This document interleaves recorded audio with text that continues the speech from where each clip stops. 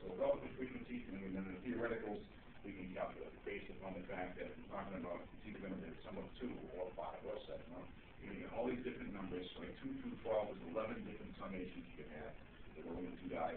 So you can figure out what you think